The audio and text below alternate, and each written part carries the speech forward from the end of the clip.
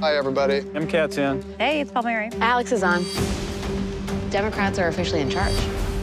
This is what unites the country right here. Bacon. You have to go after the established order. Is fear the driving factor? It does feel like a turning point.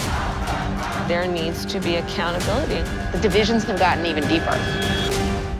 Welcome to the circus. Thank you.